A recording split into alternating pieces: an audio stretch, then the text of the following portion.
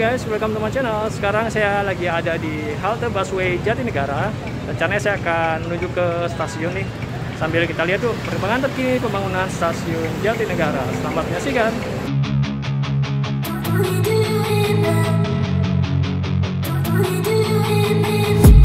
I've been dreaming on in my head like I've seen it A life worth living is a life with meaning I'll do what I love till my heart stops beating. I'm feeding this demon. Got a taste, can't erase bitterness in my face. Work a job every day till your dreams fade away. Like a card, never change, play the game that we say. I need Time staying strong, need to move on to be what I want. I'll keep dreaming on. Time staying strong, need to move on to be what I want. I'll keep dreaming on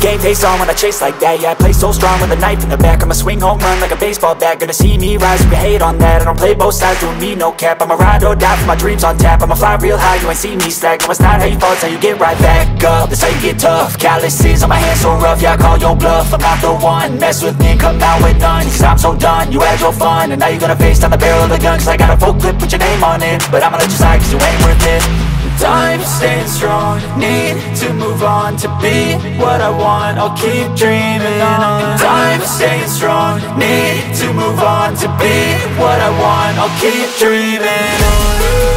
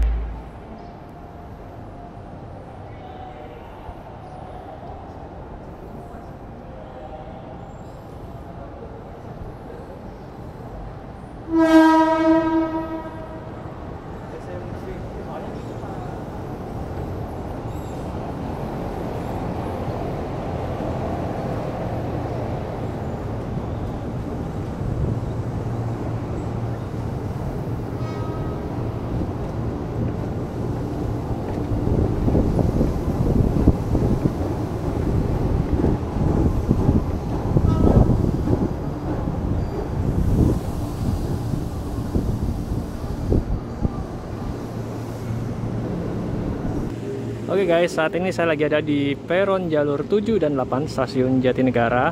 Dan pembangunan stasiun Jatinegara pada hari ini tanggal 12 Februari 2022 sejauh mata memandang ini saya melihat hanya menyisakan pembangunan kanopi atau atap untuk peron jalur 3 dan 4 stasiun Jatinegara di sisi barat yang mengarah ke stasiun Gambir. Itu di depan saya tuh di sebelah sana sudah mulai dibangun tiang-tiang kanopinya. Tinggal bagian rangka atapnya yang belum sama atapnya itu sendiri. Ini juga peron 56 belum sepenuhnya selesai. Masih ada satu tiang kanopi lagi nanti yang akan dipasang di sana tuh. Sudah ada lubangnya. Kalau peron 78 sudah sepenuhnya selesai sampai dengan ujung barat peron 78 Di sana peron 12 juga menyisakan satu tiang, cuman tiangnya udah ada tuh. Siap untuk dipasang.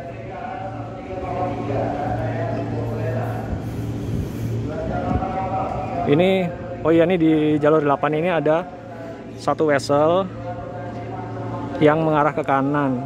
Nah ini saya belum tahu nih nanti akan diperuntukkan untuk apa. Itu belum ada motor weselnya ya, jadi masih dikunci itu weselnya. Maksudnya semua kereta pasti akan selalu ke kiri.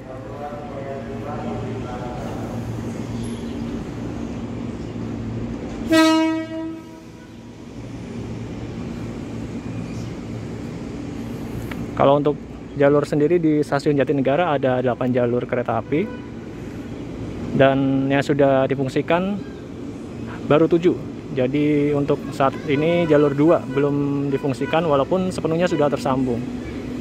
Jadi kita masih menunggu switch over untuk pengoperasian jalur 2 untuk bangunan atas stasiun Jatinegara sendiri sudah sepenuhnya jadi ya sudah beroperasi mungkin hampir setahun kali ya udah digunakan untuk naik turun penumpang. Sementara untuk peruntukan jalur sampai saat ini masih berubah-ubah ya cuman yang pasti ya yang pasti itu jalur satu pasti digunakan untuk melayani komuter lain Blue Line dari stasiun Jakarta Kota menuju ke stasiun Bekasi atau Cikarang Nah, jalur satu ini kadang-kadang juga dipakai buat berjalan langsung kereta api jarak jauh dari arah stasiun Gambir. Kemudian jalur 2 masih kosong, belum digunakan. Jalur 3 dan 4 itu digunakan untuk melayani penumpang KRL komuter lain Blue Line dari arah Bekasi atau Cikarang menuju Jakarta Kota via Manggarai. Tapi jalur 3 kadang-kadang dipakai buat berjalan langsung kereta api jarak jauh dari arah stasiun Gambir dan jalur 4 kadang dipakai buat melayani turun penumpang atau berjalan langsung kereta api jarak jauh dari arah timur menuju ke arah stasiun Gambir. Kemudian jalur 5 atau 6 kadang suka dipakai buat melayani komuter lain dari arah Jakarta Kota menuju Bekasi atau Cikarang melalui Pasar Senen. Nah, kalau yang di jalur 6 itu juga kadang dipakai buat melayani turun penumpang kereta api jarak jauh dengan tujuan stasiun Pasar Senen. Kadang-kadang juga dilayani di jalur 7. Nah, jalur 6 dan 7 ini juga uh, suka dipakai untuk kereta api berjalan langsung yang dari dan ke arah stasiun Pasar Senen. Dan khusus di jalur 8 ini adalah untuk melayani penumpang KRL komuter lain, loop line, tujuan stasiun Bogor via Pasar Senen.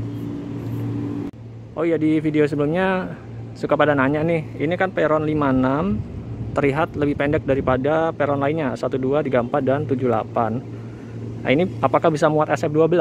Jawabannya adalah ternyata muat. Saya nggak tahu rumusnya gimana ya. Jadi mungkin faktor itu ada tikungan atau itu lurus. Jadi intinya SF12 pas muat di sini.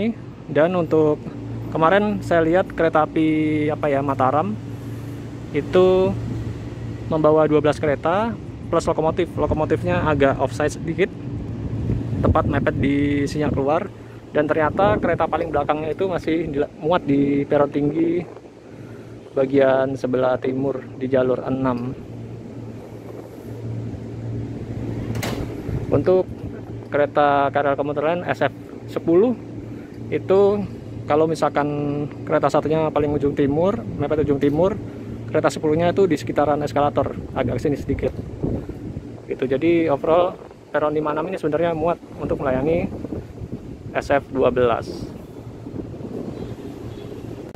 dan ini adalah sisi timur stasiun Jatinegara. Sudah sepenuhnya jadi pembangunannya. Hanya menyisakan pembangunan drainase di sisi utara jalur 8 kemudian untuk naik turun ke lantai atas di masing-masing peron tersedia satu buah tangga kemudian eskalator dan juga lift ini khusus di peron 56 tersedia ruang PPKA juga nih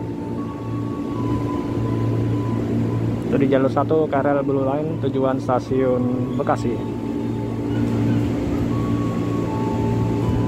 Oke okay guys, saya akhiri video kali ini. Terima kasih yang sudah menonton sampai akhir. Kita ketemu lagi di video berikutnya.